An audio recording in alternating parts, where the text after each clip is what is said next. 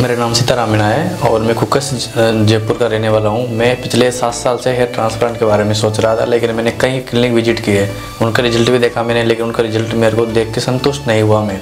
IFT clinic के बारे में पता लगा। तो मैंने यहाँ पर जो ट्रांसप्लांट कराए थे, उनके से मिला, मैं उनसे उनका रिज़ल्ट देखा। उस रिज़ल्ट देखने के बाद मेरे को इंटरलॉकिंग टेक्निक के बारे में बताया गया। तो मैं डॉक्टर साहब से आके कंसल्ट किए, मैंने इंटरलॉकिंग क्या होती है इससे कैसे वो ट्रांसप्लांट किया जाता है, वो उसको कंसल्ट करने के बाद में और मैं फिर मेरे को ट्रांसप्लांट के बारे में मैंने डिसीज़न लिया।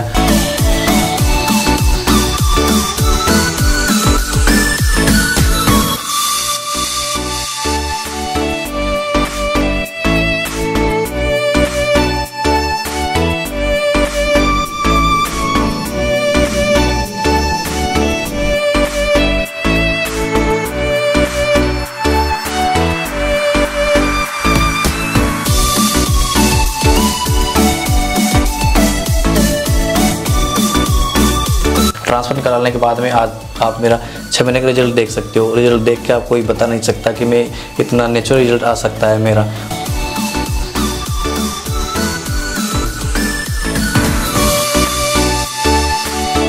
तो मैं यही सजेशन कर चाहता हूँ कि आईएफटी क्लिनिक और ये इसमें जो इंटरलोकिंग का जो कर रही है ट्रांसप्लांट कर रहे हैं, वो वन ऑफ़ द बेस्ट है मेरी तरफ़ से तो। और इसी का देखते हुए आप भी अगर आपका ट्रांसप्लांट करने का मन है तो इसी क्लिनिक को चॉइस करें।